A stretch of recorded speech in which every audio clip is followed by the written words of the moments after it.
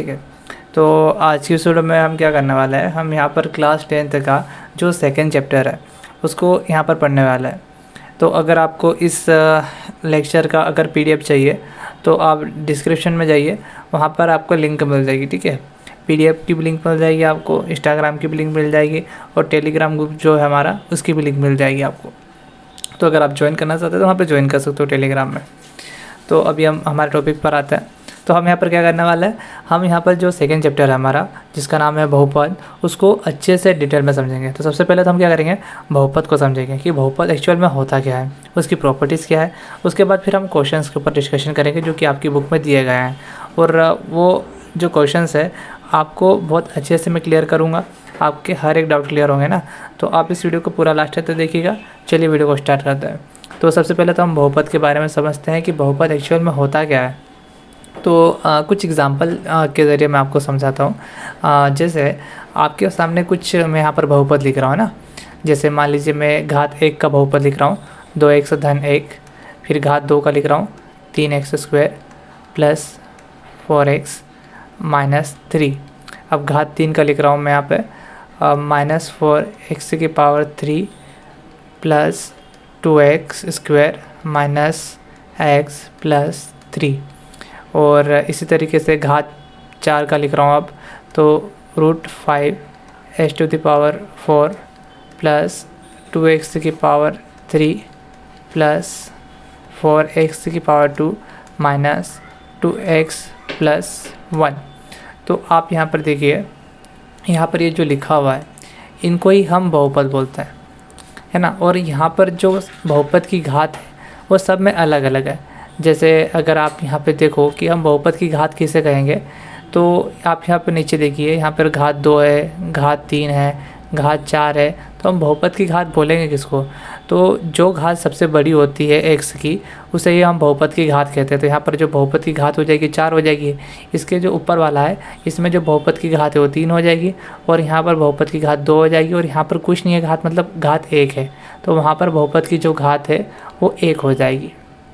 ठीक है तो एक घात एक वाला बहुपद है, एक घात दो वाला बहुपद है, एक घात तीन वाला बहुपद है और एक घात चार वाला बहुपद है। अब इसकी पहचान क्या है कि हम किसे बहुपद बोलेंगे और किसे बहुपद नहीं बोलेंगे? तो एक सिंपल सा कॉन्सेप्ट होता है। जैसे यहाँ पर आप एक्स की घात देख रहे हो, यहाँ कुछ नहीं है मतलब एक है ना घात। तो घात एक, दो, तीन, चार या फिर घात ज़ीरो भी चल जाएगी। जैसे फॉर एग्जांपल यहाँ पर एक से घात ज़ीरो मान लीजिए। तो घात ज़ीरो भी चल जाएगी। ज़ीरो, एक, दो, तीन, चार, पाँच छः सात, आठ, नौ, दस, पंद्रह, सोलह, सत्रह, अठारह, उन्नीस, बीस मतलब ऐसी कोई सी भी संख्या चल जाएगी। तो इनको क्या बोलते हैं इन संख्याओं को? इन संख्याओं को बोला जाता है पूर्ण संख्या है। ठीक, अब पूर्ण संख्याएँ क्या है? तो आपको मैं बता देता हूँ, पूर्ण संख्या क्या होती है? पूर्ण संख्या मतलब ज़ीरो, एक, दो, तीन, चार, इनको पूर्ण संख्या बोलता है। तो हमारा क्या कहना है कि एक से की जो घात है, केवल पूर्ण संख्या होनी चाहिए, है ना? इनमें से कुछ होना चाहिए। तो हम उसे बहुपद कहेंगे। अब जैसे मान लीजिए आपके सामने कुछ इस तरह से लिखा हुआ आ जाए, दो एक्स की घात, एक बटे दो प्लस एक। तो यहाँ पर एक्स की जो घात है, अभी एक बटे दो आ गई है, जो कि पूर्ण नहीं है तो हम इसे बहुपद नहीं बोलेंगे, याद रखिएगा। हाँ लेकिन जैसे एक्स के आगे जो गुणांक के रूप में संख्या है, वो कुछ भी हो, हमको उससे फ़र्क नहीं पड़ता है। ठीक है, जैसे मान लीजिए ये करनी के अंदर आ जाए करनी तीन आ जाए करनी तीन एक्स आ जाए, प्लस एक तो हाँ ये बहुपद है। हम तो बस एक्स की घात देखेंगे। ठीक है एक्स के आगे क्या लिखा है? उससे हमको मतलब नहीं है। अगर एक्स के आगे माइनस एक बटे दो लिखा हुआ हो और एक्स प्लस दो लिखा है तो ये भी बहुपद है। ठीक है तो हम कहना क्या चाह रहे हैं? हम सिर्फ़ केवल एक्स की घात देखेंगे कि एक्स की घात कैसी होनी चाहिए पूर्ण संख्या होना चाहिए। तो हम उसे बहुपद कहेंगे। जैसे फिर से एक और एग्जांपल मैं आपको दे रहा हूँ। जैसे मान लीजिए मैं घात तीन का एक बहुपद दिख रहा हूँ, है ना?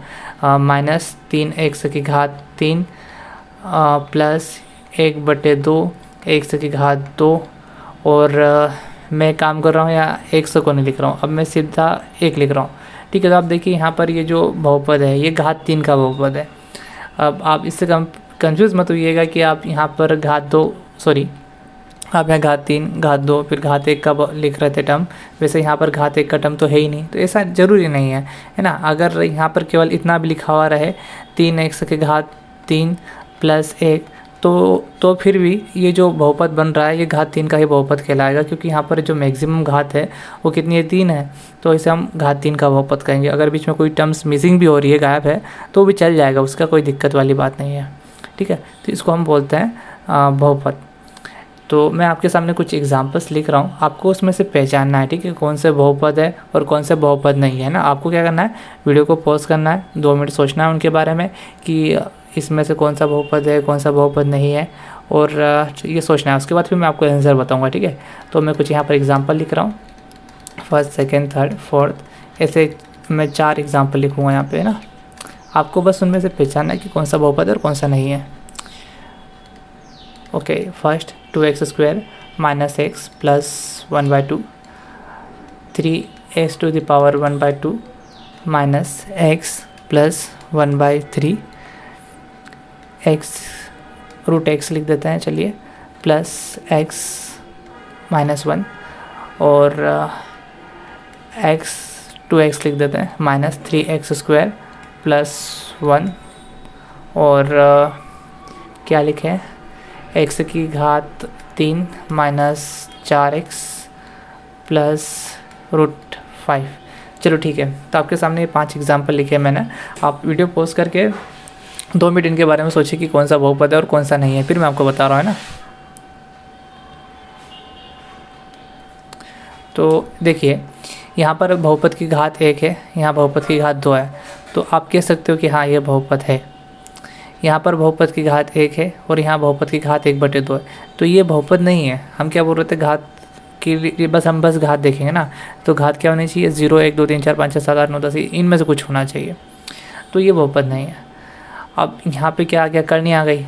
करनी एक सौ का मतलब क्या होता है? करनी एक सौ का मतलब होता है एक से घात एक बटे दो। तो यहाँ पर एक से घात एक बटे दो और ये तो ये भी बहुपद नहीं है। और यहाँ पर घात दो है। यहाँ घात एक है। चलेगा, ये बहुपद है। यहाँ घात तीन है यहाँ घात एक है तो ये भी चलेगा, ये भी बहुपद है, ठीक है? यहाँ पर संख्याएँ कुछ भी लिख रहे हो, उससे हमको कोई लेना देना नहीं है इतना कुछ खास, ठीक है?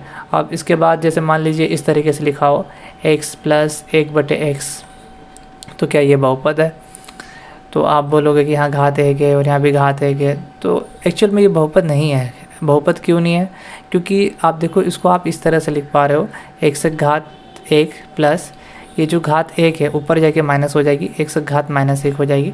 तो आप यहाँ पे देखो, एक से घात माइनस एक है, ये बहुपद नहीं है, ठीक है? तो वन अपॉन एक्स भी नहीं चलेगा, है ना? जैसे वन अपॉन एक्स नहीं चलेगा one upon two x square नहीं चलेगा। तो इन चीज़ों को आपको ध्यान में रखना है कि किसे बहुपद बोलेंगे और किसे बहुपद नहीं बोलेंगे, क्योंकि ऑब्जेक्टिव में पूछा जा सकता है, ये ऑब्जेक्टिव हंड्रेड परसेंट आ सकता है ना? और इसके चांसेस है। और हमको आप, पता भी होना चाहिए, क्योंकि आप बहुपद का चैप्टर पढ़ रहे हो और आपको ये नहीं पता कि बहुपद किसे बोलते हैं तो क्या ही मतलब रह जाएगा। ठीक है तो आप कुछ हमारे पास बेसिक कॉन्सेप्ट है, उनको ध्यान में रखिएगा। घात एक, दो और तीन के बहुपद क्रमशः रेखिक बहुपद द्विघात बहुपद और त्रिघात बहुपद कहलाते हैं। अभी मैंने आपको घात एक का बहुपद, घात दो का बहुपद, घात तीन का बहुपद लिख के दिखाया था। तो उसको हम क्या बोलेंगे? घात एक वाले को रेखिक बोलेंगे, घात दो वाले को द्विघात बोलेंगे और घात तीन वाले को त्रिघात बहुपद बोलेंगे। और सेकेंड पॉइंट क्या है हमारे पास? कि एक जो त्रिघात बहुपद होता है, उसका जो मानक रूप होता है, वो इस फॉर्मेट में होता है। देखिए, आपको ऑब्जेक्टिव में पूछा जा सकता है कि द्विघात बहुपद का मानक रूप क्या है? तो आप क्या बोलोगे? A x square plus b x plus c जहाँ ए बी व सी ठीक है? और यहाँ पर ए बी व सी लिखा हुआ होना चाहिए था। थोड़ी सी प्रिंटिंग मिस्टेक है, मैं उसको करेक्ट कर देता हूँ यहाँ पर ए बी व सी आएगा ना? ए बी चलो एक मिनट। ए बी व सी वास्तविक संख्या है। और a not equal to zero है। ठीक है? के रूप में होता है ना? तो यहाँ पर ये दीर्घात बहुपद का आपको बस मानक रूप याद रखना है कि दीर्घात बहुपद अगर आपसे पूछा जाए कि दीर्घात बहुपद का मानक रूप क्या है तो आप बोलोगे a x square plus b x plus c इसे हम दीर्घात बहुपद का मानक रूप बोलते हैं। और यहाँ पर ए बी सी क्या है? वास्तविक संख्या है। और a not equal to zero मतलब ए जो है वो ज़ीरो नहीं होना चाहिए। ज़ीरो के अलावा कोई सी भी संख्या रखो, एक ही जगह पे चल जाएगा। जैसे एग्जांपल के तौर पे आप ए की जगह पे दो रखिए। बी की जगह पे माइनस की संख्या रख सकते हो या फिर चलो कणी की संख्या लिख देते हैं कणी तीन लिख देते हैं कणी तीन एक्स और सी की जगह पे माइनस एक बटे दो लिख देते हैं तो चल जाएगा। आप ए बी सी की जगह पे कोई सी भी वास्तविक संख्या रख सकते हो। और एक्स स्क्वायर प्लस एक्स इस फॉर्मेट में होना चाहिए, इसे दीर्घात बहुपद का मानक रूप बोलते हैं। ओके? और यहाँ पर ए ज़ीरो क्यों नहीं होना चाहिए? अगर मान लीजिए बाई चांस ए ज़ीरो हो गया, है ना? ए क्या हो गया? ज़ीरो हो गया। बाकी संख्याएँ मैंने इस तरह से रखी माइनस दो एक्स प्लस एक। सी की जगह पे एक लिखा और बी की जगह पे माइनस दो लिखा। तो यहाँ पर ए जो है ज़ीरो हो गया है। तो ज़ीरो का मल्टीप्लाई एक्स स्क्वायर में करोगे तो आप देखिए ज़ीरो हो जाएगा। माइनस दो एक्स प्लस एक बचता है। इस तरह से माइनस दो एक्स प्लस एक आएगा। तो आप देखिए, यहाँ पर आप बोल रहे हो द्विघात बहुपद। और हमको मिला क्या? घात एक वाला बहुपद, जो कि रेखिक बहुपद होता है। तो अगर हम एक ही जगह पे ज़ीरो रख देंगे तो वो रेखिक बहुपद बहुपद बन जाएगा ना? क्या बन जाएगा? रेखिक बहुपद बन जाएगा। दीर्घात बहुपद नहीं रहेगा वो। तो इसलिए हम कहते हैं कि एक ही जगह पे ज़ीरो नहीं आना चाहिए, ठीक है? अब थर्ड पॉइंट पे बढ़ते हैं। तो एक बहुपद पी एक्स के शून्य, उन बिंदुओं के एक्स निर्देशांक होते हैं, जहाँ वाई बराबर पी एक्स का ग्राफ एक्स अक्ष को प्रतिच्छेद करता है। अब ये क्या चीज़ है? इसको आप समझिए ग्राफ के ज़रिए मैं आपको ये समझाता हूँ, फिर अच्छे से समझ में आ जाएगा आपको, है ना? तो मैं अभी आपको आगे समझा देता हूँ। मान लीजिए आपके पास ये ग्राफ है तो ये एक बहुपद है, ठीक है? एक्स स्क्वायर प्लस छः एक्स प्लस आठ। तो इसका जो ग्राफ है, इस तरीके से बन रहा है। तो आप यहाँ पे देख सकते हो कि ये जो ग्राफ है, एक्स अक्ष को कहाँ प्रतिच्छेद कर रहा है? तो एक्स अक्ष को माइनस दो पे प्रतिच्छेद कर रहा है और माइनस चार पर प्रतिच्छेद कर रहा है। ठीक है? तो अगर आप इस तरह से किसी भी बहुपद का कोई ग्राफ बनाते हो तो इसी तरीके से बनेगा, है ना? अब ग्राफ बनता कैसे है? ये अलग टॉपिक है, क्योंकि अभी आपकी सिलेबस में ये नहीं है, आपको बहुपत का ग्राफ नहीं बनाना है। मैं बस आपको समझाने के लिए चीज़ें समझा रहा हूँ ना? कि कैसे क्या होता है। तो यहाँ पर इसका जब ग्राफ बनेगा तो वो इस तरीके से बनेगा और एक शख्स को माइनस दो और माइनस चार पर प्रतिच्छेद करेगा। तो यहाँ पर ये जो एक से बराबर माइनस दो है और एक से बराबर माइनस चार है, ये बहुपद के शून्य कहलाते हैं। ठीक है, क्या कहलाते हैं? बहुपद के शून्य। और एक और बात ध्यान रखिएगा, बहुपद की जितनी घात होती है, बहुपद के उतने ही शून्य होते हैं। अगर घात दो वाला बहुपद है तो बहुपद के दो शून्य होंगे। अगर बहुपद की घात तीन है तो बहुपद के तीन शून्य होंगे। अब इसको शून्य क्यों बोलते हैं? तो देखो जैसे ये बहुपद है ना, हमारे पास बहुपद क्या है? एक्स की घात दो, प्लस छः एक्स, प्लस आठ। तो मैं अगर इस बहुपद में एक्स की जगह पे माइनस दो लिख दूँ, क्या लिख दूँ? एक्स की जगह पे माइनस दो लिख दूँ। तो देखिए, मैं रखता हूँ वहाँ पर एक्स की जगह पे माइनस दो रख रहा हूँ यहाँ पे, ठीक है? जहाँ जहाँ एक्स है, वहाँ पर मैं माइनस दो रख रहा हूँ। बाकी सारी चीज़ें वैसी ही है। आठ वैसा ही लिखा है छः वैसा ही लिखा है एक्स की जगह पे माइनस दो लिखा और घात दो है तो दो रखी है, ठीक है? माइनस दो की घात दो करेंगे तो हमारे पास क्या आ जाएगा? चार। अब ध्यान रखिए प्लस माइनस हमारे पास माइनस हो जाएगा। छः का गुणा दो में करेंगे बारह प्लस आठ। अब चार और आठ कितना हो जाएगा? बारह। माइनस बारह, ठीक है? चार और आठ, बारह। और फिर माइनस बारह लिखा। बारह में से बारह घटाओगे ज़ीरो बच जाएगा। तो आप देख सकते हो कि एक्स की जगह पे अगर मैं माइनस दो रखता हूँ तो मुझे ज़ीरो मिलता है। इसका मतलब है कि एक से बराबर माइनस दो बहुपद का शून्य है। इसको शून्य कर रहा है वो। और ऐसे ही एक से बराबर अगर सॉरी और ऐसे ही अगर मैं एक से बराबर माइनस चार रखता हूँ तो भी ये बहुपद को शून्य कर देगा। इसलिए भी हम इसे बहुपद का शून्य कहेंगे। ओके तो आई होप आपको ये चीज़ें क्लियर हो गई होगी। एक और एग्जांपल लेते हैं। जैसे ये एक और दीर्घात बहुपद है और इसका हमको ग्राफ दिख रहा है ना स्क्रीन पर। तो यहाँ पर इस बहुपद के दो शून्य है एक तो एक से बराबर माइनस एक है और एक से बराबर माइनस ज़ीरो दशमलव पाँच है। ज़ीरो दशमलव पाँच का मतलब होता है आधा। ठीक है? तो आधे को आप ऐसा भी लिख सकते हो, माइनस एक बटे दो। तो ये बहुपद के दो शून्य हो गए, एक माइनस एक और माइनस एक बटे दो। इसी तरीके से अगर आप एक से बराबर माइनस एक यहाँ पर बहुपद में रखते हो तो ये बहुपद क्या हो जाएगा? शून्य हो जाएगा। अब यहाँ पर ये जो पी एक्स लिखा है, इससे कन्फ्यूज़ मत होइएगा। ये बहुपद को व्यक्त करने का एक तरीका होता है। हम बहुपद को पी एक्सा से व्यक्त करते हैं। अगर आपने नाइन्थ क्लास अच्छे से पढ़ी है तो आपने वहाँ पे देखा होगा कि हमने बहुपद को पी एक्सा से ही व्यक्त किया था और हमने वहाँ पे p zero p one p two ऐसे वैल्यूज़ पता की थी चैप्टर टू में। वैसे यहाँ पर भी है। तो यहाँ पर एक्सा की जगह पर हम वैल्यूज़ रखते हैं और चेक करते हैं कि बहुपद के शून्य है या नहीं है। बहुपद के शून्य निकालने का भी एक तरीका होता है, वो भी ऑब्जेक्टिव्स में पूछा जाता है, वो मैं आपको करवाऊँगा। लेकिन अभी फ़िलहाल में हम यहाँ पर बेसिक चीज़ें सीख रहे हैं ना कि बहुपद एक्चुअल में होता क्या है और उसमें सारी चीज़ें क्या हो रही है। तो एक सब आप अगर माइनस एक यहाँ पर रखते भी हैं तो एक से जगह पर माइनस एक रखते हैं तो आप देखिए क्या मिल रहा है हमको। दो गुणित माइनस एक की घात दो प्लस तीन गुणित माइनस एक प्लस एक तो दो गुणित माइनस एक का वर्ग करेंगे, एक मिलेगा प्लस माइनस माइनस हो जाएगा यहाँ पे। ठीक है? और तीन का गुणा एक में करेंगे तीन प्लस एक। दो को गुणा एक में करेंगे दो माइनस तीन प्लस एक। अब एक काम कीजिए, दो को और एक को जोड़ लीजिए तो ये तीन हो जाएगा और माइनस तीन। तो कितना हो रहा है? ये ज़ीरो तो आप देख सकते हो कि यहाँ पर एक से बराबर माइनस एक पे हमको जो बहुपद मिला था, वो क्या हो रहा है? शून्य हो रहा है। तो बहुपद शून्य हो रहा, है मतलब ये बहुपद का शून्यक है। तो इसे आप माइनस एक बटे दो के लिए भी चेक कर सकते हो। और ऐसे ये त्रिघात बहुपद है। तो यहाँ पर त्रिघात बहुपद एक शख्स को कितनी जगह पर प्रतिशत कर रहा है? तीन जगह प्रतिशत कर रहा है। एक बार एक से बराबर एक पर, एक बार एक से बराबर दो पर और एक बार एक से बराबर तीन पर। तो यहाँ पर बहुपद के तीन शून्य के और ये बहुपद को तीन जगह पर कट कर रहा है ना? मतलब एक शख्स को तीन जगह कट कर रहा है। चलो आगे बढ़ते हैं। है ना? तो ये हमारे पास बहुपद के शून्य का कॉन्सेप्ट हुआ। है ना, इसी तरीके से हमारे पास अगर ये द्विघात बहुपद है तो हम क्या बोल रहे हैं, बहुपद की जितनी घात होगी, बहुपद के उतने ही शून्य होंगे। तो इस बहुपद के भी दो शून्य होंगे, है ना? तो मान लेते हैं दो जो शून्यक है, वो एक अल्फ़ा है और एक बीटा है। हम दो शून्यक मान रहे हैं, एक अल्फ़ा और एक बीटा। तो हमारे पास यहाँ पर एक प्रॉपर्टी निकल के आती है कि अगर आप बहुपद के शून्यकों को जोड़ोगे तो उनका जो योगफल होता है, वो बराबर होता है, माइनस बी बटे ए के और उनका शून्यकों का जो गुणनफल होता है वो बराबर होता है सी बटे ए के। अब ये क्या चीज़ है? इसको एक एग्जांपल के ज़रिए मैं आपको समझाता हूँ ना? देखिए, जैसे आपकी स्क्रीन पर एक एग्जांपल दिख रहा है। हमारे पास यहाँ पर बहुपद है एक्स स्क्वायर माइनस पाँच एक्स प्लस छः।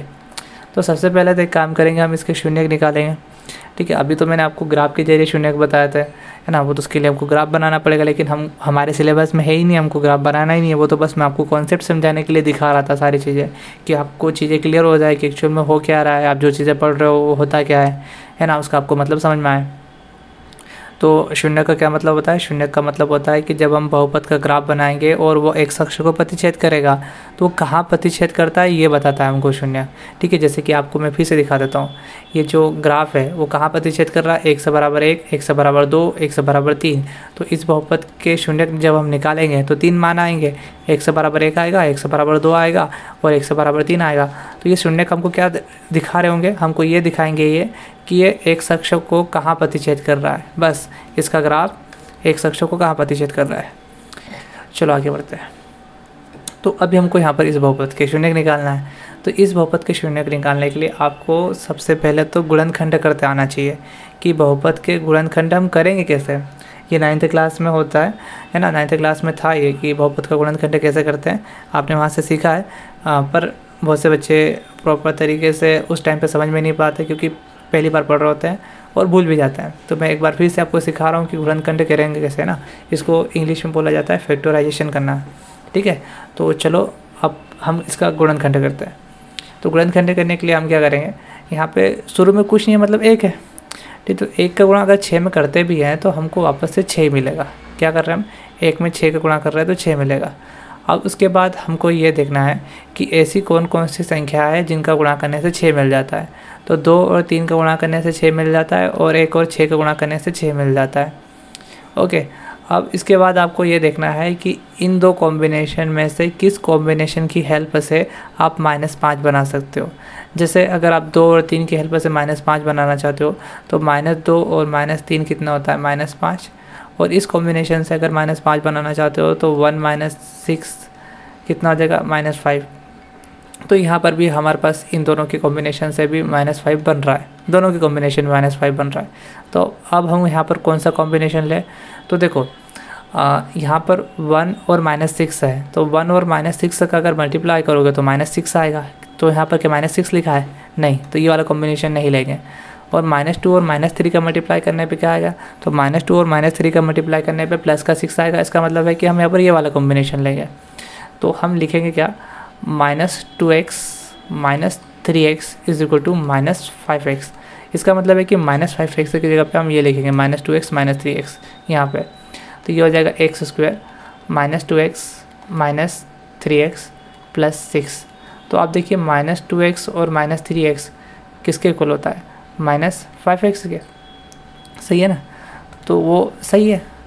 ओके अब यहाँ पर हमको कॉमन लेना होता है। तो कॉमन लेता है, चलिए। एक मिनट ठीक है।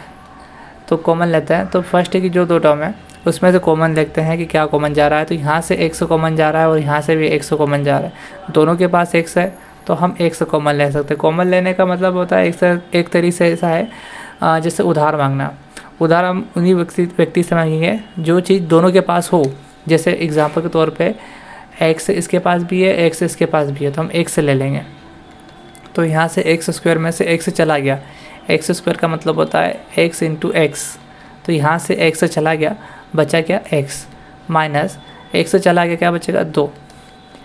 अब यहाँ के आखिरी की दो जो टर्म है, उसमें से कॉमन लेना है? तो इसके पास एक्स है, लेकिन इसके पास एक्स है क्या? नहीं है। तो हम एक से तो कॉमन नहीं ले सकते। हैं लेकिन उसके बाद फिर नंबर बचते हैं। एक तीन है और एक छः है। तो तीन और छः किसके पहाड़े में आता है? तो तीन के पहाड़े में आता है तो तीन कॉमन ले लेंगे। और उसके बाद एक काम करते हैं माइनस का कॉमन ले लेते हैं। और याद रखिएगा, जब भी माइनस कॉमन लेंगे, वो सिम्बॉल चेंज करेगा। ये माइनस कॉमन लिया हमने यहाँ से तो ये प्लस में आएगा यहाँ पे। माइनस तीन चला गया, बचा गया एक्स माइनस कॉमन लिया है तो ये माइन प्लस से किसमें चला जाएगा? माइनस में। तो यहाँ माइनस आएगा। और तीन के पाड़े में छः कितनी बार में आता है? तो दो बार में। ठीक है तो आई होप आपको ये क्लियर हो गया होगा। अब यहाँ पर दोनों ब्रैकेट सेम बने ये ब्रैकेट और ये ब्रैकेट सेम बने इसका मतलब हमारा जो प्रोसेस है, ये वाली गुणनखंड करने वाली, वो सही जा रही है। अब एक्स माइनस दो यहाँ से कॉमन चला जाएगा और यहाँ से बचेगा एक्स और यहाँ से बचेगा माइनस थ्री ठीक है? तो यहाँ से इस तरीके से हम गुणनखंड करते हैं। अब हमको शून्यक निकालना है। तो शून्यक निकालने के लिए क्या करेंगे हम? एक्स माइनस दो बराबर ज़ीरो रखेंगे। एक्स माइनस तीन बराबर ज़ीरो रखेंगे। माइनस का दो उधर जाके प्लस का दो हो जाएगा और माइनस का तीन उधर जाके प्लस का तीन हो जाएगा। तो यहाँ पर बहुपद के दो शून्यक निकले। एक तो है एक से बराबर दो और एक है एक से बराबर तीन। ठीक है? इसका क्या मतलब है? इसका ये मतलब है कि जब भी हम इस बहुपद का ग्राफ बनाएँगे, वो जो ग्राफ है, एक अक्ष को कहाँ प्रतिच्छेद करेगा? एक बार एक से बराबर दो पे करेगा और एक बार एक से बराबर तीन पे करेगा। दो बार प्रतिच्छेद करेगा इसका ग्राफ। ठीक है? कैसा भी ग्राफ बन सकता है, लेकिन बस इतनी जानकारी मिली है कि एक अक्ष को दो बार प्रतिच्छेद करेगा, एक एक से एक से बराबर दो पे और एक बार एक से बराबर तीन पे। ओके। तो ये बहुपद के शून्य हो गए। अब यहाँ पर एक संबंध होता है। ठीक है, यहाँ पर ये जो जितना हमने किया हुआ है, सब कुछ मैंने यहाँ पर साइड में किया हुआ है। सेम वही है जो यहाँ पर हमने किया वही है। एक से बराबर दो, एक से बराबर तीन आया है। तो मैं यहाँ पर जो साइड में लिखा हुआ है, इसको मैं रब कर देता हूँ ना? ओके। तो अब हम क्या करेंगे, यहाँ पर बहुपद के शून्यकों को अल्फ़ा और बीटा मान लेंगे। ये जो नंबर्स आए हैं, दो और तीन, इनको एक को अल्फ़ा और एक को बीटा मान लेते हैं। तो अल्फ़ा बराबर दो हो गया और बीटा बराबर तीन हो गया। ये बहुपद के शून्य है अब संबंध की सत्यता की जाँच करते हैं। ठीक है तो संबंधित सत्यता की जाँच करने से पहले हमको क्या करना पड़ेगा? यहाँ पर ये जो बहुपद दिया गया है, इसका एक मानक रूप होता है। बहुपद का मानक रूप आपको मैंने बताया x square plus b x plus c इसका क्या मतलब है? कि एक्स स्क्वायर के साथ जो भी लिखा हुआ है गुणांक के रूप में, उसको हम ए बोलेंगे। और एक्स के साथ जो भी गुणांक में लिखा है, उसको हम बी बोलेंगे। और आखिरी वाले को सी बोलेंगे। तो एक्स स्क्वायर के साथ यहाँ पर कुछ नहीं है मतलब क्या? एक है। तो इसको हम क्या बोलेंगे? ए यहाँ से कंपेयर कीजिए तो यहाँ पर ए का मान एक आ जाएगा। एक्स के साथ जो होता है उसे हम बी बोलते हैं। तो एक्स के साथ यहाँ पर क्या है? गुणांक में माइनस पाँच है। तो बी की जो वैल्यू है माइनस पाँच आ जाएगी। आखिरी वाले नंबर को हम सी बोलेंगे तो सी बराबर यहाँ पे क्या आ जाएगा? छः आ जाएगा। तो ये सी का मान हो गया। अब हम संबंध देखते हैं। संबंध क्या है हमारे पास? एक संबंध ये होता है कि अल्फ़ा प्लस बीटा बराबर होता है माइनस बी बटे ए तो अल्फ़ा का मान कितना है? दो है। और बीटा का मान तीन है तो अल्फ़ा की जगह पे दो, बीटा की जगह पे तीन बराबर माइनस बी की वैल्यू, माइनस बी की वैल्यू कितनी है? माइनस पाँच। तो माइनस बाहर लगा हुआ तो माइनस लगा देते हैं, बी की वैल्यू पाँच है ना, माइनस पाँच है तो माइनस पाँच लिख देते हैं। और अपोन में आ जाएगा ए तो ए की वैल्यू कितनी है? एक है। दो और तीन, पाँच हो गया हमारे पास, माइनस माइनस प्लस और अपॉन में वन तो पाँच बराबर पाँच आ जाएगा। तो ये सही है है ना? वेरीफाई हो गया। पहली जो प्रॉपर्टी है, हमारे पास मतलब जो पहला संबंध है, वो वेरीफाई हो गया है। अब सेकेंड सेकेंड क्या है हमारे पास? अल्फ़ा इंटू बीटा बराबर सी बटे ए अल्फ़ा की वैल्यू आई है हमारे पास दो और बीटा की वैल्यू आई है तीन। तो अल्फ़ा की जगह पे दो लिखेंगे बीटा की जगह पे तीन लिखेंगे। बराबर सी की वैल्यू जो है हमारे पास छः है तो यहाँ पे छः लिख देंगे। ए की वैल्यू जो है एक है तो यहाँ पर एक लिख देंगे।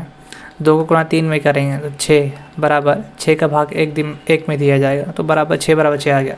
तो इसका मतलब है कि सेकेंड जो प्रॉपर्टी थी हमारी, वो भी सेटिस्फाई हो गई, है ना? मतलब जो सेकेंड संबंध था रिलेशन था, वो सेटिस्फाई हो चुका है। तो इस तरीके से हम क्वेश्चन को करेंगे ना। पहली चीज़ तो आपको गुणनखंड करते आना चाहिए, और वो हमारे पास संबंध था, उसके क्वेश्चन अभी हम आगे करने वाले हैं। तो चलिए प्रश्न वाली स्टार्ट करते हैं। प्रश्न वाली दो दो श्लोक है, और यहाँ पर आपको कुछ ग्राफ दिए गए हैं। आपको ग्राफ देख के बताना है कि बहुपद के शून्य कितने होंगे।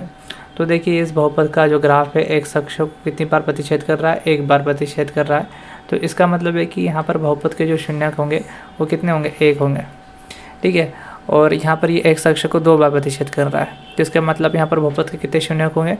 तो बहुपदों की शून्य की संख्या जो है, वो दो हो जाएगी यहाँ पर। यहाँ पर बहुपद का जो ग्राफ है, वो एक अक्ष को तीन बार प्रतिशत कर रहा है। इसका मतलब है कि शून्यकों की जो संख्या है, वो कितनी हो जाएगी? यहाँ पर तीन हो जाएगी। बस हमको ये चेक करना होता है कि ग्राफ कितनी बार प्रतिच्छेद कर रहा है। तो यहाँ पर एक अक्ष को एक बार प्रतिच्छेद कर रहा है तो एक शून्य होगा। यहाँ पर भी एक अक्ष को एक बार प्रतिच्छेद कर रहा है तो एक शून्य होगा। यहाँ पर एक अक्ष को एक, दो, तीन, चार चार बार प्रतिच्छेद कर रहा है तो चार शून्य होंगे। ओके तो इस तरीके से हम करते हैं। ये आते हैं एग्ज़ाम में। बहुत सी बार पूछा गया है। आपको सीधा सीधा ग्राफ दिया जाता है और आपको ये देख के बताना होता है कि बहुपत के शून्य कितना है। तो आपको एक लाइन में आंसर देना है, कोई ज़्यादा कोई बिहारी काम नहीं है। बहुत आसान सा क्वेश्चन है। ओके आगे बढ़ते हैं। तो अब जो फ़र्स्ट क्वेश्चन है हमारा, उसमें ये कहा गया है कि निम्न द्विघात बहुपदों के शून्य ज्ञात कीजिए और शून्य को तथा गुणांकों के बीच के संबंध की सत्यता की जाँच कीजिए। आपको थोड़ी देर पहले जो मैंने संबंध बताए थे, पहला संबंध ये था कि अल्फ़ा प्लस बीटा बराबर होता है माइनस बी बटे ए और अल्फ़ा इंटू बीटा बराबर होता है सी बटे इनकी सत्यता की जाँच भी करना है और इनको सॉल्व भी करना है, ठीक है? तो चलिए करते हैं, काफ़ी आसान सा क्वेश्चन है, कोई ज़्यादा डिफ़िकल्ट नहीं है। तो पहला क्वेश्चन लेते हैं हम, ठीक है? पहला क्वेश्चन यहाँ पर है एक्स स्क्वेयर माइनस दो एक्स माइनस आठ। तो पहले तो इसका गुणनखंड करना पड़ेगा। तो गुणनखंड करना मैंने अभी आपको सिखाया था किस तरह से करेंगे। यहाँ आगे कुछ नहीं है मतलब क्या एक है। तो एक का गुणा माइनस आठ में करेंगे। एक का गुणा माइनस आठ में करेंगे तो माइनस आठ मिलेगा। अब आपको ऐसी संख्याएँ चाहिए जिनका गुणा करने से आठ मिल जाता है। तो दो और चार का गुणा करने से आठ मिल जाता है और एक और आठ का गुणा करने से आठ मिल जाता है। तो ये दो कॉम्बिनेशन है हमारे पास। अब इन दो कॉम्बिनेशन में से किसकी हेल्प से आप माइनस दो बना सकते हो? मतलब जोड़ने या घटाने से, ठीक है? तो एक और आठ को अगर आप जोड़ते हो तो नौ बन जाएगा। घटाते हो तो माइनस का सात बन जाएगा, लेकिन माइनस का दो तो नहीं बनना है। तो ये कॉम्बिनेशन किसी काम का नहीं है। अब दो और चार की हेल्प से माइनस दो बना सकते हो क्या? तो हाँ बना सकते हो। दो में से चार को घटाओगे तो माइनस दो बन जाएगा। तो ये कॉम्बिनेशन परफेक्ट रहेगा हमारे लिए। और एक और सेकेंड वेरीफाई करने के लिए भी होता है कि दो और माइनस चार का गुणा करने पे माइनस आठ आ रहा है तो मतलब सही है। दो और माइनस चार का गुणा करेंगे तो माइनस आठ मिल जाएगा। मतलब परफेक्ट है ये कॉम्बिनेशन तो हम माइनस दो की जगह पे क्या लिखेंगे? दो माइनस चार। दो माइनस चार। कहाँ पे? माइनस दो की जगह पे लिखेंगे हम। तो यहाँ पे माइनस दो की जगह पे लिखेंगे हम एक एक्स स्क्वायर। माइनस दो की जगह क्या लिखेंगे? प्लस का दो एक्स है ना? प्लस का दो एक्स माइनस चार एक्स। फिर माइनस आठ तो वैसे ही रहेगा। आप फिर से देख लीजिए। दो में से आप चार को घटाओगे तो माइनस का दो मिलेगा। तो इसका मतलब है कि ये जो हमने लिखा है वो सही है। और दो को गुणा माइनस चार में करोगे तो माइनस आठ मिलेगा। वो भी सही मिल रहा है हमको, ठीक है? अब क्या करने वाले हैं हम? स्टार्टिंग की जो दो टर्म्स हैं, वहाँ से कॉमन लेंगे। तो हमको ये देखना पड़ेगा कि क्या कॉमन जा रहा है, क्या नहीं जा रहा है। उसके हिसाब से हम काम करेंगे। ओके? तो चलिए देखते हैं क्या कॉमन जा रहा है यहाँ से। तो यहाँ से स्टार्टिंग की जो दो टर्म्स है, वहाँ से एक्स कॉमन जा रहा है तो हम एक्स कॉमन ले लेंगे। और यहाँ से बचेगा एक्स और यहाँ से एक्स कॉमन चला गया, बच्चे का क्या यहाँ पे? दो। अब इसके पास एक्स है, लेकिन इसके पास एक्स नहीं है तो यहाँ से एक्स कॉमन तो नहीं जाएगा, लेकिन चार ज़रूर कॉमन चला जाएगा, क्योंकि चार के पहाड़े में चार भी आता है और आठ भी आता है तो चार कॉमन चला जाएगा। अब जो चार कॉमन लिया, वो प्लस का कॉमन ले या माइनस का कॉमन ले तो हम यहाँ पर माइनस का कॉमन ले लेते हैं।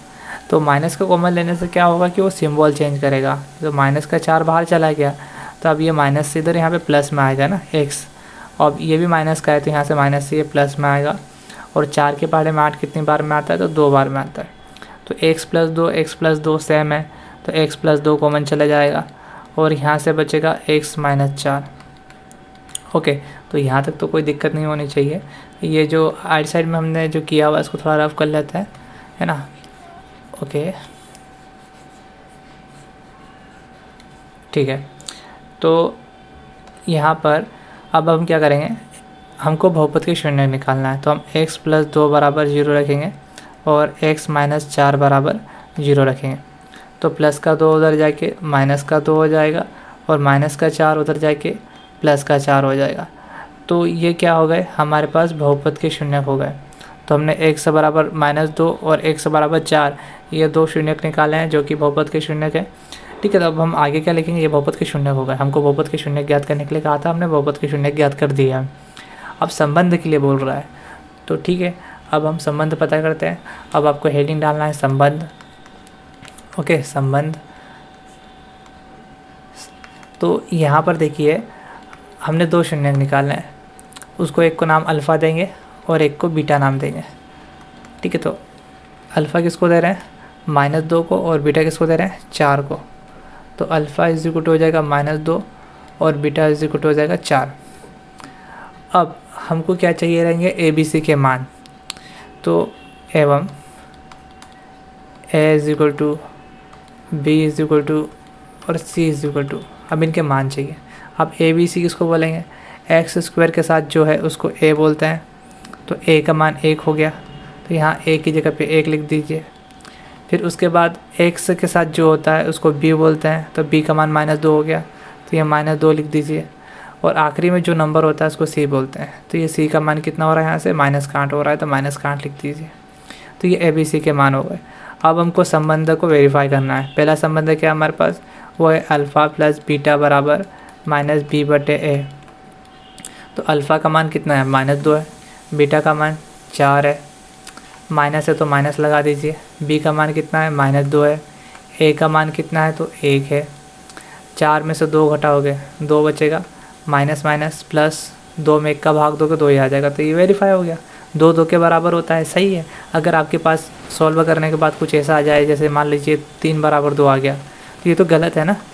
तो अगर गलत आ रहा है, इसका मतलब आपने कहीं ना कहीं गलती कर दी है। ठीक है? यहाँ पर कुछ भी संख्या है बस सही आना चाहिए। दो बराबर दो आ जाए, तीन बराबर तीन आ जाए, सात बराबर सात आ जाए, कुछ भी आ जाए, लेकिन बराबर होना चाहिए ना। अलग अलग संख्या नहीं होना चाहिए। अगर अलग आ रही है, इसका मतलब गलती है कहीं ना कहीं। तो ये पहला संबंध हो गया। अब सेकेंड संबंध देखते हैं।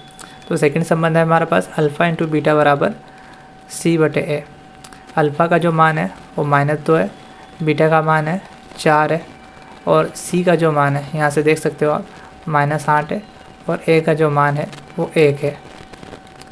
तो माइनस दो को गुणा जब चार में किया जाएगा तो माइनस आठ मिलेगा और माइनस आठ में एक का भाग देंगे तो माइनस आठ मिलेगा। तो माइनस आठ माइनस आठ के बराबर ही होता है मतलब ये भी वेरीफाई हो गया हमारा। ठीक है, दोनों रिलेशन हमारे वेरीफाई हो चुके हैं। तो यहाँ पर इसको थोड़ा इरेज कर देते हैं फालतू चीज़ों को। ठीक है तो आप अगर ये पीडीएफ डाउनलोड करना चाहते हो इन नोट्स का तो आप डिस्क्रिप्शन में जाइए, वहाँ पर एक लिंक मिलेगी, आपको वहाँ से डाउनलोड कर सकते हो आप। ठीक है तो यहाँ पर फालतू चीज़ें हम डिलीट कर देते हैं ताकि आपको कोई दिक्कत ना आए ना। चलो ये तो कोई बात नहीं। अब ये क्वेश्चन कंप्लीट हो गया हमारा। अब सेकेंड क्वेश्चन के ऊपर जा रहे हैं। तो सेम इसी तरीके से हमको इसको भी करना है। तो यहाँ पर एस स्क्वायर लिखा है है ना? Four s square minus four s plus one तो पहला काम वही है, गुणनखंड करना है। तो जो शुरू की संख्या उसका मल्टीप्लाई करेंगे, आखिरी वाली संख्या में। तो चार का गुणा एक में करेंगे तो चार का गुणा एक में करेंगे तो चार मिलेगा। आपको ये देखना है कि कौन कौन सी संख्याओं को गुणा करने से चार मिलता है। तो दो और दो को गुणा करने से चार मिलता है और चार और एक का गुणा करने से चार मिलता है। इसके अलावा कोई संख्या नहीं जिसकी गुणा करने से चार मिल जाए। अब उसके बाद बीच की संख्या देखिए। बीच में क्या लिखा? है माइनस चार। तो माइनस चार किसकी हेल्प से बना सकते हो? चार और एक की हेल्प से जोड़ने या घटाने से माइनस चार बन सकता है क्या? तो जवाब आता है नहीं। अगर आप एक और चार को जोड़ोगे तो पाँच हो जाएगा और चार में से एक को घटाओगे तो तीन हो जाएगा। तो मतलब आपके पास माइनस चार बन नहीं रहा है यहाँ पे तो ये दोनों कॉम्बिनेशन से नहीं बन रहा है मतलब ये कॉम्बिनेशन हमारे किसी काम का नहीं है। लेकिन दो और दो से चार बन सकता है। अगर आप दो और दो को जोड़ोगे तो चार बनेगा, लेकिन प्लस का चार है तो ये भी नहीं चाहिए। हमको चाहिए कि माइनस का चार। तो माइनस का चार बनाने के लिए हमको माइनस दो माइनस दो लेंगे तो ये माइनस का चार हो जाएगा। तो ये कॉम्बिनेशन परफेक्ट है। माइनस दो माइनस दो माइनस चार हो रहा है। अब इसके साथ एस लिखा हुआ है तो इनके साथ भी एस लिख दीजिए। Minus two s minus two s is equal to minus four s देखिए, मेरा जो एस है वो फाइव के जैसे दिखता है ना? तो इसको मैं थोड़ा अलग बनाने के लिए मैं इस तरह से लिख रहा हूँ। ये जो लिखा हुआ है मैंने वो एस है। आप उसको एस सपोज़ करके चलिए।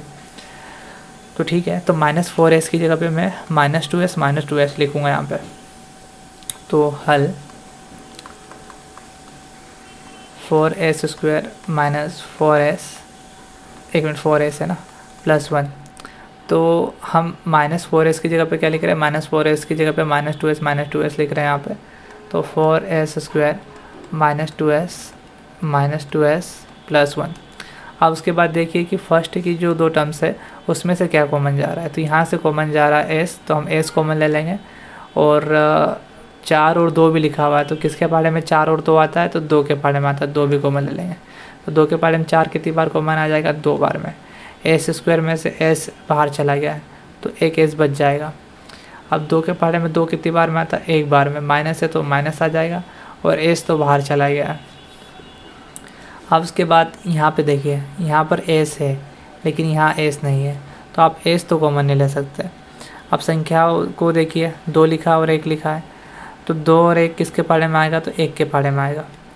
कॉमन तो लेना आपको, ठीक है? कुछ ना कुछ तो कॉमन लेना पड़ेगा। तो एक कॉमन चले जाएगा। अब प्लस का कॉमन लें, कि माइनस का कॉमन लें।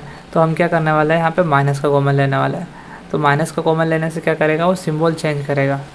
तो ये जो माइनस है, यहाँ से प्लस में आ जाएगा। एक के पढ़े में दो दो बार में आता है साथ में एस है। ये माइनस है तो माइनस से प्लस में आ गया। और ये प्लस से माइनस में आ जाएगा। और एक के पारे में एक एक ही बार में आता है। तो आप देख सकते हो कि दोनों ब्रैकेट जो बने, वो सेम बने। हमने ब्रैकेट सेम बनाने के लिए माइनस कॉमन लिया था, ठीक है? अब जो ब्रैकेट सेम बने हैं, उनको बाहर कॉमन ले लेते हैं और यहाँ से बचेगा टू एस और यहाँ से माइनस वन। ओके।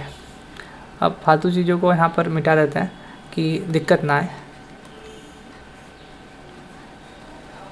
चलो ठीक है। ओके। तो यहाँ से आप देखिए, अब हमको शून्य निकालना है ना? तो two s minus one is equal to zero और two s minus one is equal to zero दोनों सेम ही हैं। तो आंसर जो है सेम आएँगे। टू मल्टीप्लाई में इधर आके डिवाइड में वन अपन टू हो जाएगा। या माइनस का वन है, उधर जाके प्लस का वन होगा। प्लस का वन होगा मतलब ज़ीरो प्लस वन होगा और ज़ीरो प्लस वन क्या होता है? वन ही होता है वो तो। और टू मल्टीप्लाई में उधर जाके डिवाइड में वन बाई टू ठीक है तो इतना लॉन्ग करने की ज़रूरत नहीं है। ये बीच वाली स्टेप आप छोड़ना चाहो तो छोड़ सकते हो। तो इस तरीके से हमारे पास जो एस की वैल्यू आई है one by two one by two आई है। तो एक काम करते हैं साइड वाला थोड़ा रफ कर देते हैं। हमको जगह चाहिए रहेगी स्पेस चाहिए यहाँ पे, है ना? तो यहाँ से इस तरीके से हमने शून्य तो निकाल लिए अब जो संबंध है, उसको देखना है। तो संबंध देखते हैं। ओके। तो अब हम यहाँ पर हेडिंग डालेंगे संबंध।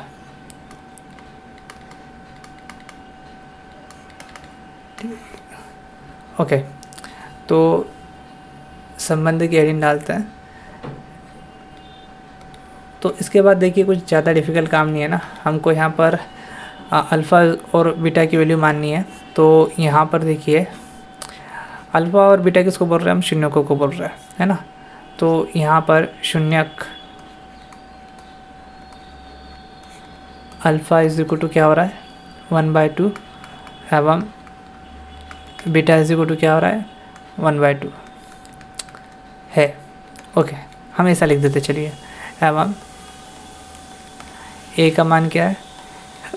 तो एस स्क्वायर के साथ जो संख्या उसको ए बोलेंगे। तो ए का मान चार है। बी का मान माइनस चार है। और सी का मान एक है। तो ये ए बी सी के मान हो गए हमारे पास। पहला जो संबंध है हमारे पास, वो है अल्फ़ा प्लस बीटा बराबर माइनस बी बटे ए अल्फ़ा का जो मान है, वो एक बटे दो है। बीटा का जो मान है, वो भी एक बटे दो है। माइनस है तो माइनस लगा देंगे। बी की जगह पे कितना लिखोगे? माइनस का चार। और बटे में ए ए का मान है चार। तो अब इसको कैसे सॉल्व करेंगे? हर समान है तो यहाँ पे दो आ जाएगा। ऊपर एक प्लस एक बराबर। माइनस माइनस प्लस हो जाएगा चार बटे चार। एक प्लस एक दो हो जाएगा, दो बटे दो बराबर चार बटे चार। यहाँ चार से चार कैंसल आउट हो जाएगा एक बार, दो से दो कैंसल आउट हो जाएगा एक बार तो एक बराबर एक आया है। तो मतलब हमारा जो पहला संबंध है, वो वेरीफाई हो चुका है। अब सेकेंड संबंध देखते हैं। सेकेंड क्या है?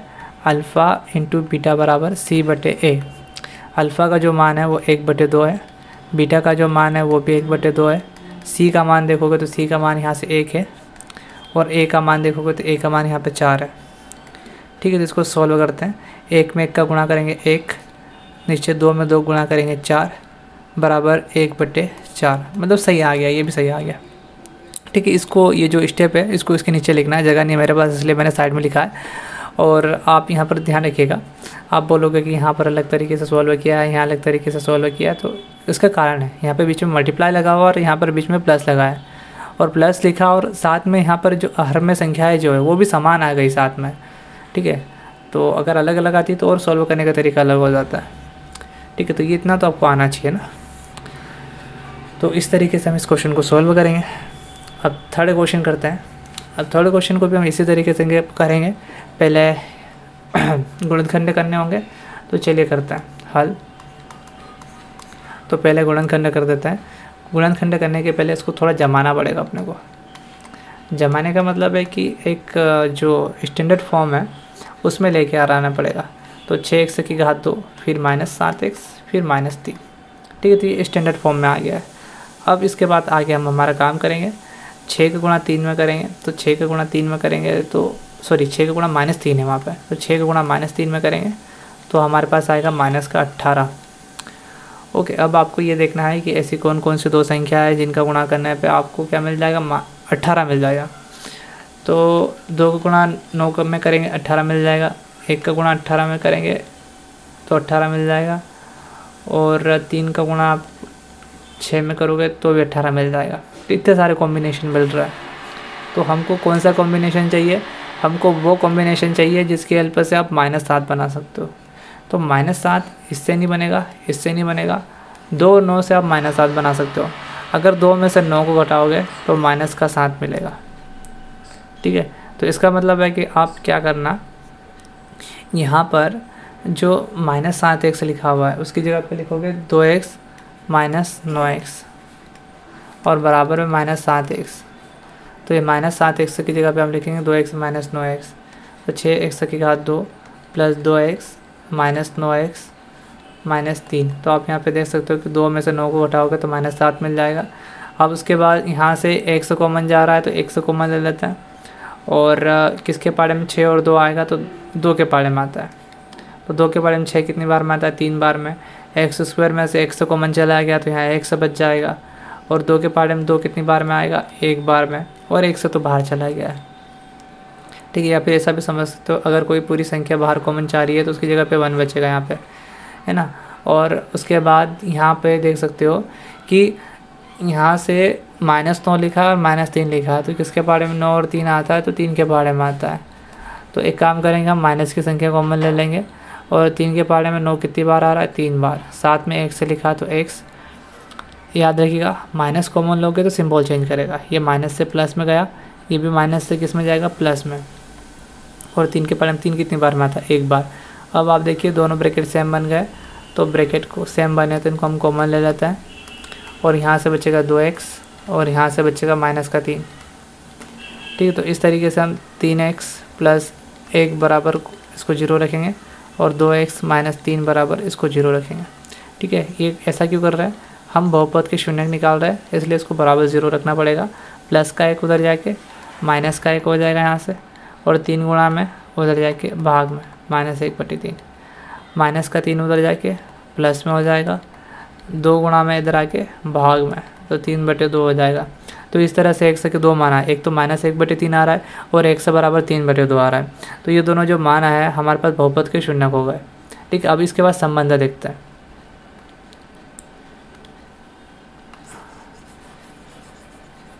तो थोड़ा इसको रफ कर देते हैं यहाँ से। ओके। अब इसके बाद संबंध। ठीक है, संबंध करते हैं।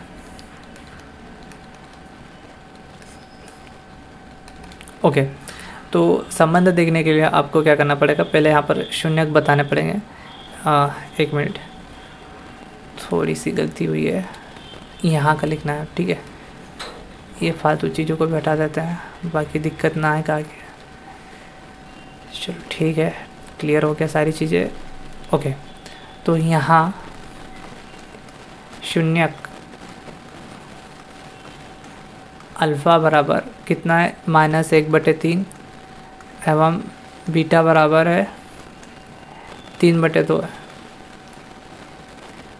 ठीक है तो ये अल्फ़ा और बीटा हो गए। और ए बी सी के भी मान बताना है एवं ए बराबर कितना है? छः।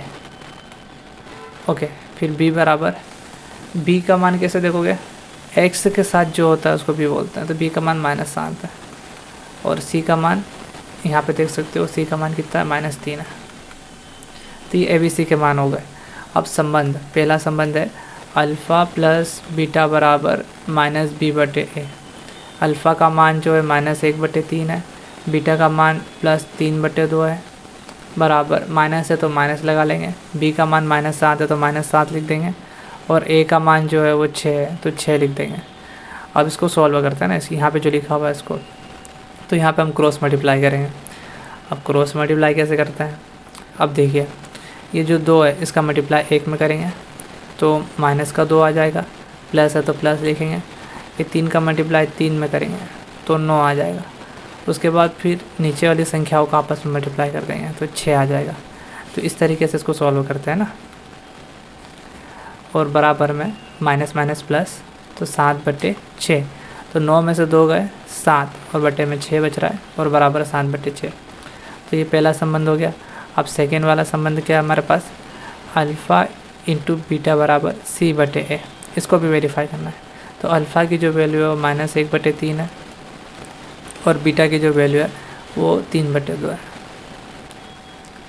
और बराबर सी का जो मान है वो माइनस तीन है, और ए का जो मान है वो छः है।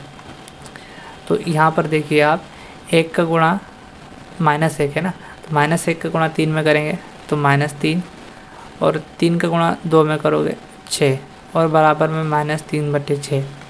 तो ये इक्वल आ गया मतलब सही है। यहाँ पे वैसे कट रहा है। तीन की टेबल से जो छः है, वो कट रहा है। तीन के पारे से एक बार कट जाएगा और नीचे दो बार कट जाएगा। तो वैसे इतने का कोई ख़ास ज़रूरत नहीं है। इक्वल आ गया, बस बहुत है।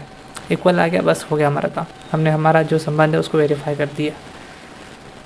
तो इसका जो आंसर है, इस तरह से कंप्लीट हुआ है यहाँ पर। तो पहला काम तो शून्य निकालना होता है, हमने शून्य निकाल दिया, फिर उसके बाद संबंध को वेरीफाई करना होता है तो संबंध को वेरीफाई भी कर दिया। और आगे बढ़ते हैं। अब ये फोर्थ क्वेश्चन है उसको सॉल्व करना है। तो ये भी कोई ज़्यादा डिफ़िकल्ट नहीं है, बहुत आसान सा क्वेश्चन है। इसको हम आसानी से कर सकते हैं।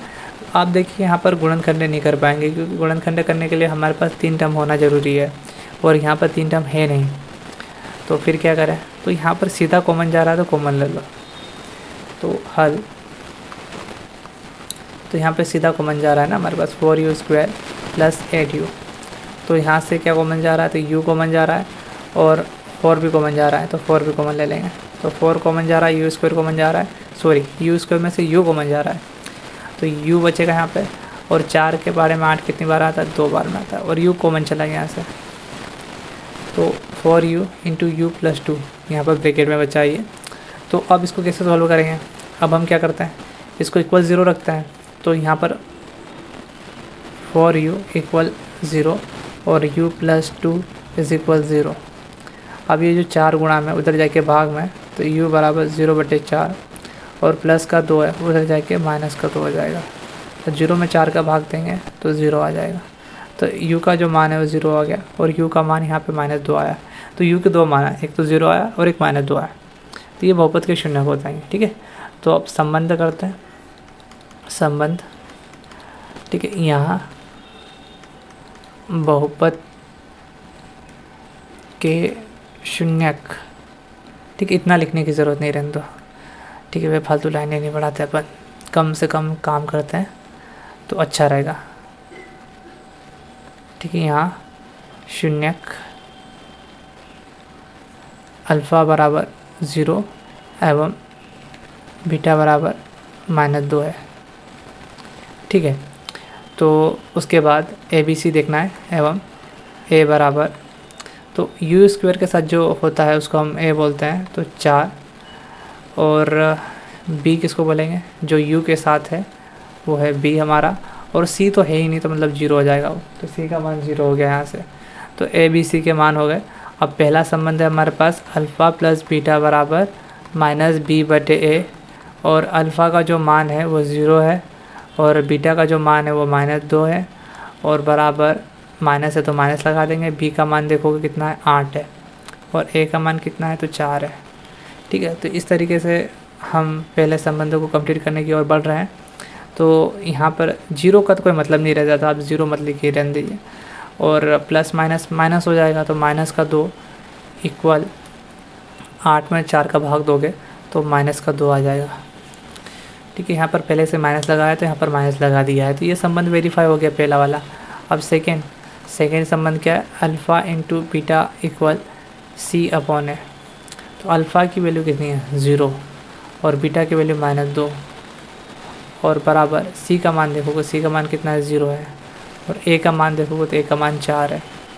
तो ज़ीरो में माइनस दो का गुणा कर रहे हो तो ज़ीरो हो जाएगा और ज़ीरो में चार का भाग दोगे तो ज़ीरो हो जाएगा। तो ये सेकेंड वाला जो संबंध है वो भी वेरीफाई हो गया हमारा। तो पहला संबंध हो गया सेकेंड संबंध हो गया, दोनों हो गए। तो आई होप आपको ये भी क्लियर हो गया होगा। अब अगले वाले क्वेश्चन पे पढ़ते हैं। फिफ्थ क्वेश्चन इसका भी हमको क्या करना है? पहले तो गुणनखंड करना है। तो गुणनखंड करना काफ़ी आसान होता, कोई ज़्यादा डिफ़िकल्ट काम है नहीं। बट दिक्कत वही है कि गुणनखंड करना है तो आपके पास तीन टर्म होना चाहिए, या तीन टर्म है नहीं तो आप क्या करें? और पिछली बार वाले जैसे यहाँ पर कुछ कॉमन भी नहीं जा रहा है तो कॉमन ले लेके बना ले, वो भी नहीं हो रहा है तो फिर अब क्या किया जाए? तो एक सूत्र होता है, जो कि आप नाइन्थ क्लास में पढ़ के आए हो, वो होता है a square minus b square equal a plus b into a minus b तो ये हमारे पास ये एक फार्मूला है। इसको आपको याद रखना है। A square minus b square equal a plus b into a minus b अब इसको अप्लाई कैसे करते हैं? जैसे एग्जांपल के तौर पे मान लो, दो x square minus y square ऐसा लिखा हुआ है। और इसको मुझे यहाँ पर ये जो फार्मूला है, इसको अप्लाई करना है। तो हम क्या करेंगे? यहाँ पर ये जो दो संख्या लिखी है, दो एक्स और वाई इनको एक बार जोड़ना होता है। ठीक है? और एक बार क्या करना है? माइनस करना है। तो बस हो गया। फॉर्मूला अप्लाई हो गया। बस इतना आसान है। पर शर्त क्या है? दोनों वैल्यूज़ के ऊपर स्क्वायर लगा होना चाहिए और बीच में माइनस होना चाहिए। तो यहाँ पर माइनस तो है और एक के ऊपर स्क्वायर भी है लेकिन दूसरे के ऊपर स्क्वायर नहीं है। तो दूसरे के ऊपर स्क्वायर बनाना पड़ेगा। तो कैसे बनाओगे? देखो आ, अगर आपके पास इस तरह से लिखा है रूट टू और अगर इसका स्क्वायर करते हो तो आपको टू मिलेगा है ना? क्योंकि स्क्वायर से रूट कट जाएगा ना। तो आप बोल सकते हो कि टू इक्वल होता है रूट टू और उसके स्क्वायर के। वैसे ही यहाँ पर पंद्रह जो है बराबर होगा हमारे पास। पंद्रह की करनी ले लेते हैं और उसका घात दो कर देता है। तो घात दो जो है और जो करनी है आपस में कट जाएगी और आपस से पंद्रह मिल जाएगा। इसका मतलब है कि मैं पंद्रह को लिख सकता हूँ। करनी पंद्रह की घात दो। ठीक है? तो इसको हम इस तरीके से लिखेंगे। टी की घात दो माइनस पंद्रह टी की घात दो माइनस करनी पंद्रह, पूरे की घात दो। ठीक है, क्योंकि करनी पंद्रह का वर्ग करोगे तो आपस से पंद्रह मिल जाएगा। और उसके बाद ये सूत्र अप्लाई कर देंगे। तो यहाँ पर हम इन दोनों संख्याओं को जोड़ेंगे। टी प्लस करनी पंद्रह और टी माइनस करनी पंद्रह। साइड में लिख देते हैं कि हमने यहाँ पर ये फॉर्मूला अप्लाई किया है। A square minus b square बराबर a plus b into a minus b हमने ये फार्मूला अप्लाई किया है। अब क्या करेंगे? शून्य निकाल लेते हैं। अब टी प्लस करनी पंद्रह बराबर ज़ीरो और टी माइनस करनी पंद्रह बराबर ज़ीरो। तो प्लस का करनी पंद्रह उधर जाके माइनस का करनी पंद्रह हो जाएगा और माइनस का करनी पंद्रह उधर जाके प्लस का हो जाएगा। तो यहाँ पर दो शून्य मिल गए, एक तो माइनस करनी पंद्रह और एक प्लस का करनी पंद्रह है। ठीक है तो अब संबंध करते हैं। संबंध तो हम बताएँगे यहाँ शून्यक अल्फ़ा बराबर माइनस करनी पंद्रह है एवं बीटा बराबर करनी पंद्रह है। ठीक है। तो और एवं ए बराबर क्या है? ए किसको बोलते हैं? जो हमारे पास चर है मतलब वेरिएबल है, उसके गुणांक को। तो टी स्क्वेयर के साथ कुछ नहीं है मतलब एक है। तो क्या आ जाएगा? ए का मान एक। और बी का मान किसको बोलेंगे? तो टी स्क्वेयर हो गया। अब टी स्क्वेयर के बाद कौन आ गया? टी तो टी तो है ही नहीं है यहाँ पर। तो टी नहीं है तो ज़ीरो हो जाएगा। टी टी का जो गुणांक होगा उसको तो बी बोलेंगे। तो टी तो है ही नहीं तो टी बी की वैल्यू ज़ीरो हो जाएगी। और सी का जो मान है यहाँ पे माइनस पंद्रह है तो माइनस पंद्रह आ जाएगा। ओके तो ए बी सी के मान हो गए। अब संबंध, पहला संबंध। अल्फ़ा प्लस बीटा बराबर माइनस बी बटे ए अल्फ़ा का मान है हमारे पास माइनस करनी पंद्रह, और बीटा का मान है प्लस करनी पंद्रह, और बराबर माइनस है तो माइनस लगा देंगे। उसके बाद बी की वैल्यू देखिए, यहाँ पर बी की वैल्यू ज़ीरो है तो ज़ीरो, और ए का मान एक है तो एक। इस साइड वाली चीज़ें ज़रा रब कर देता हूँ ना। हमको थोड़ी स्पेस चाहिए यहाँ पे। ओके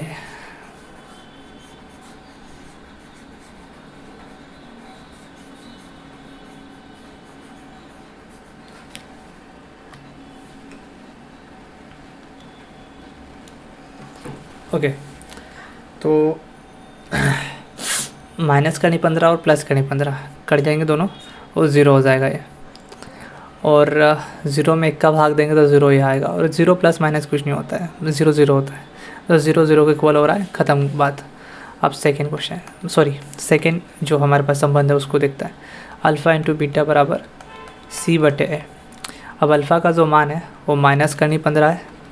और बीटा का जो मान है वो प्लस करनी पंद्रह है।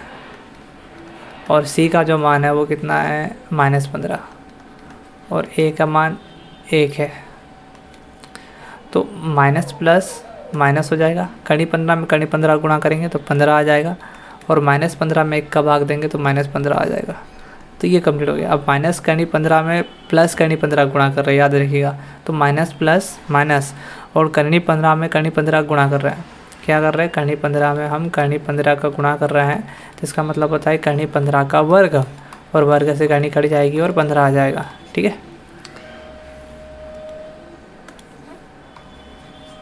तो ये वाला क्वेश्चन भी कंप्लीट हो गया हमारा।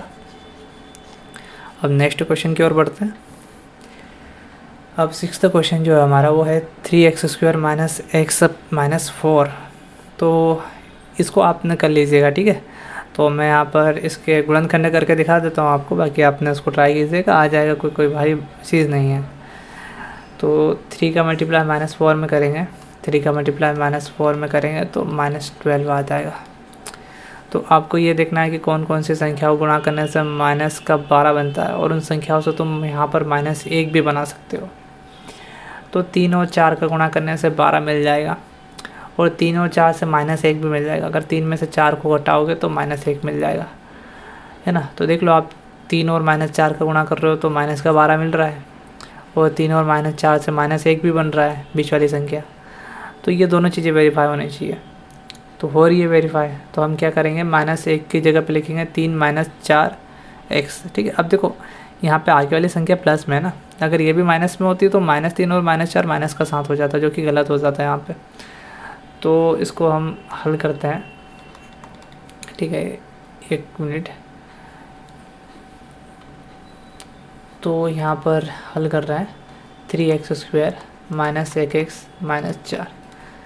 तो माइनस एक एक्स की जगह पे क्या लिखेंगे? थ्री एक्स स्क्वायर माइनस एक एक्स की जगह पे लिखेंगे। प्लस का तीन एक्स माइनस चार एक्स माइनस चार। उसके बाद देखते हैं क्या कॉमन जा रहा है यहाँ से। तो यहाँ से तीन कॉमन जा रहा है। और एक्स कॉमन जा रहा है। तो तीन बाहर चला गया एक्स स्क्वायर में से एक से बाहर चला गया बचा एक्स और यहाँ से पूरा ही बाहर जा रहा है तो बचेगा एक। अब माइनस का चार कॉमन जा रहा है तो माइनस का चार कॉमन ले लो। और जब माइनस की संख्या लोगे तो प्लस का करेगा ये? माइनस से प्लस में आ जाएगा, यहाँ बचेगा एक्स ये भी माइनस से प्लस में आ जाएगा यहाँ पे। और चार के बड़े में चार कितनी बार में आता है? एक बार में। या फिर पूरा ही बाहर जा रहा है तो भी एक ही बचेगा, वही बात है। एक्स प्लस एक एक्स प्लस एक सेम ब्रेकेट बना तो एक्स प्लस एक बाहर कॉमन मना गया। यहाँ से बचेगा तीन एक्स और यहाँ से बचेगा माइनस चार। ठीक है तो आप मुझे लगता है इसके बाद आप कर सकते हो। चलिए ठीक है राव मैं ही करवा देता हूँ है ना? छोड़ो।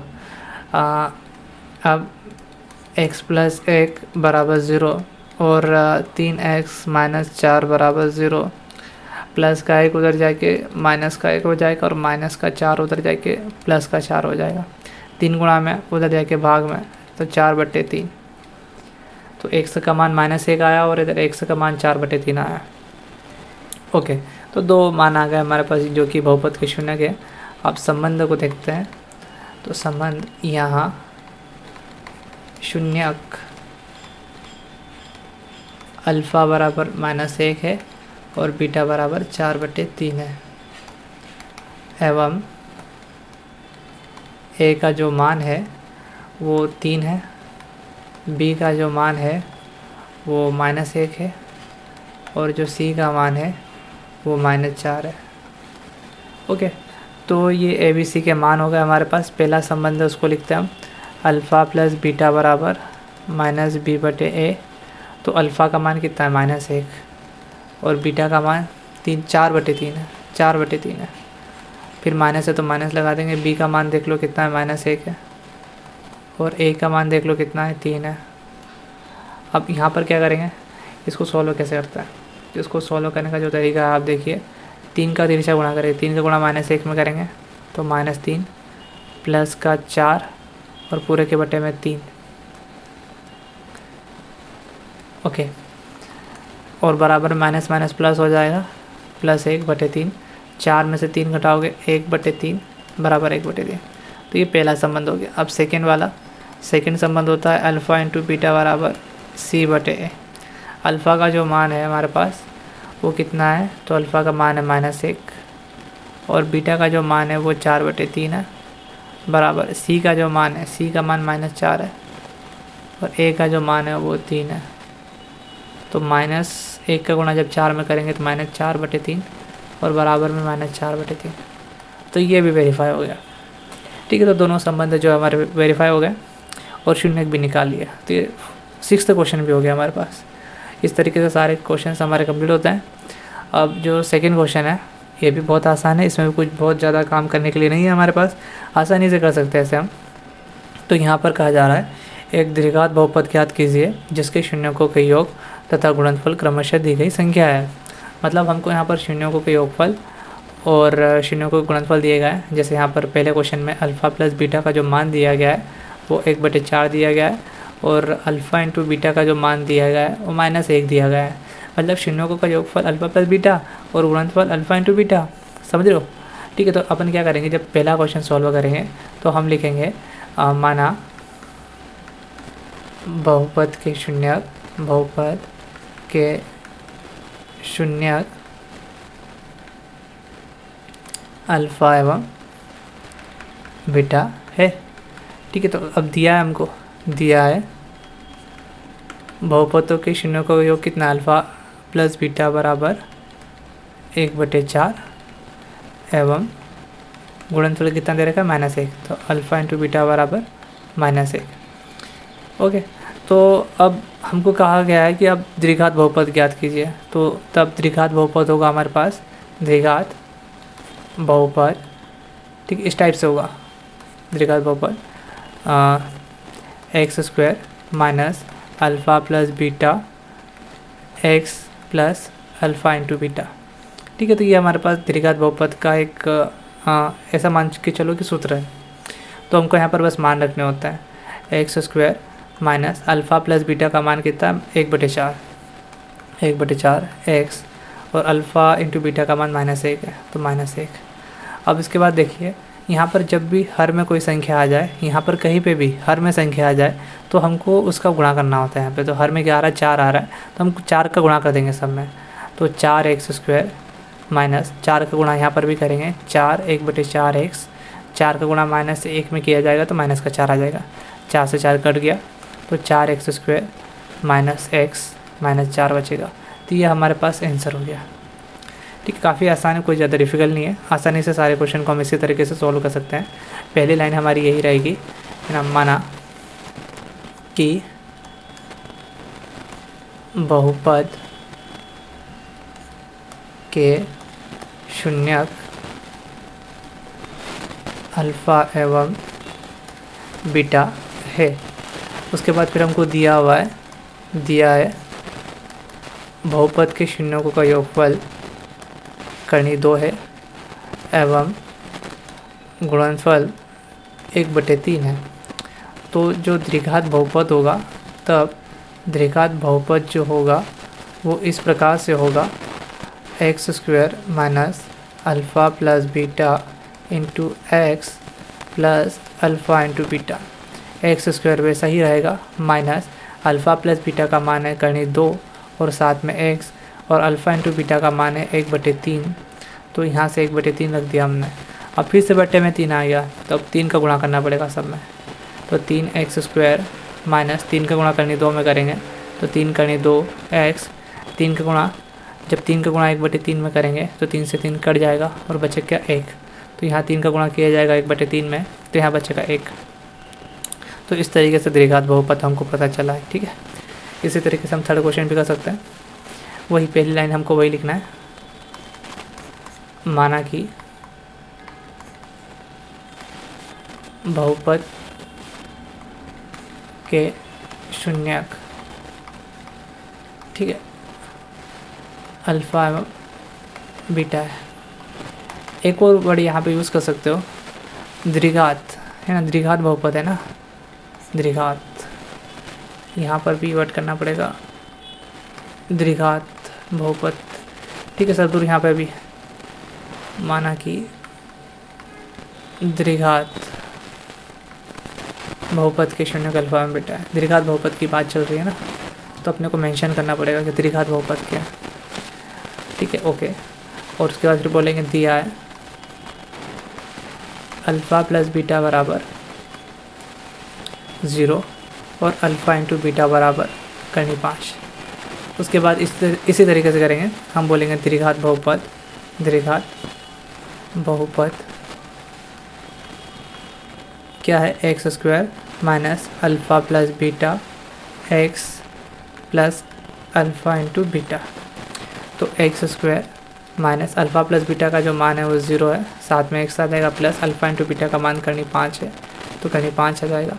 अब ज़ीरो एक्स तो ज़ीरो हो जाएगा और बचेगा एक्स स्क्वायर प्लस करनी पाँच। तो ये आंसर हो गया हमारे पास। ठीक है, अब इसके लिए भी सेम वैसा ही करना है, इसको आप कर लीजिएगा, आसान है ये तो। और इसको करवा देते हैं। हल।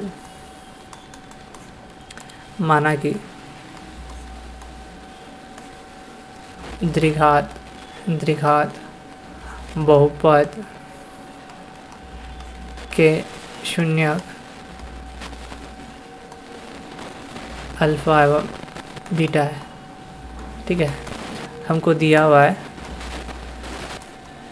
शून्यकों का योगफल अल्फ़ा प्लस बीटा बराबर है माइनस एक बटे चार एवं गुणनफल एक बटे चार है। तो द्विघात बहुपद जो होगा, द्विघात बहुपद जो होगा हमारे पास, वो इस प्रकार से होगा।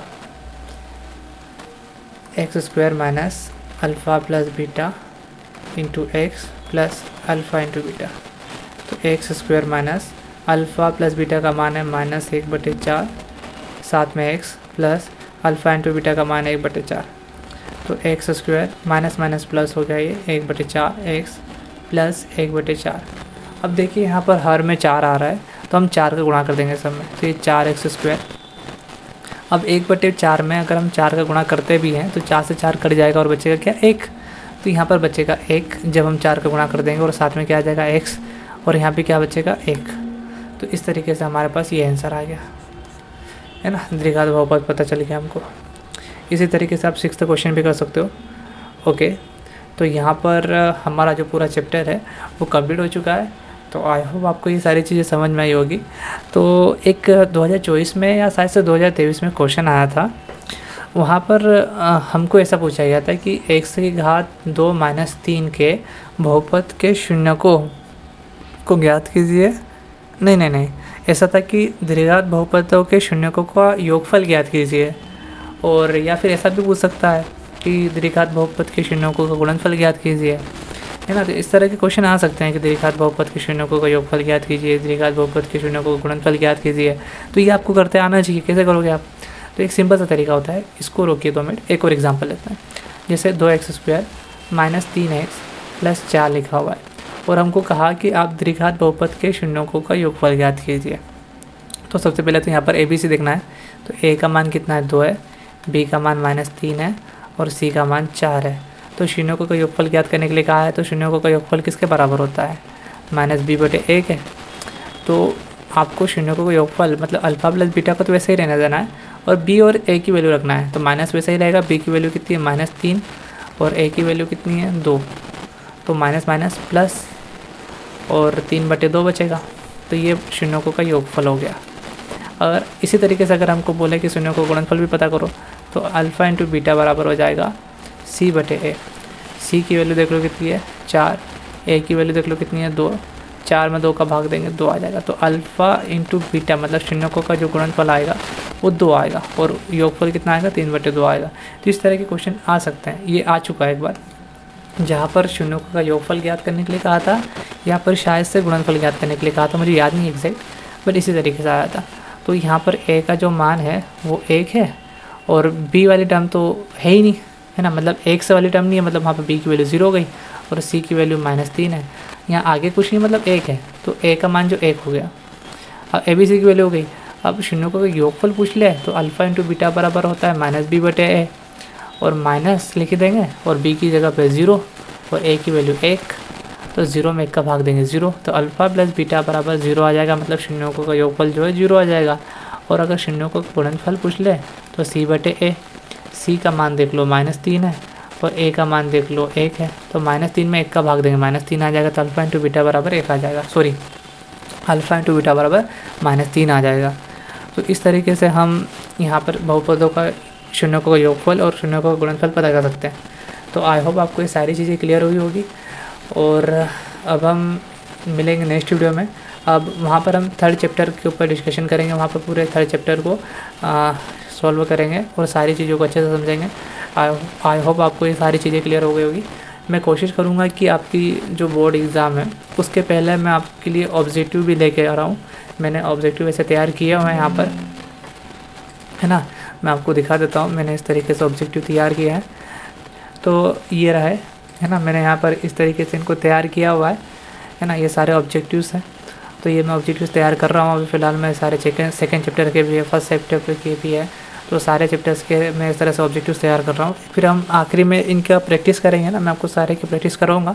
आप मेरे साथ बने रहिए। देखते हैं अब नेक्स्ट वीडियो में मिलते हैं। Thanks for watching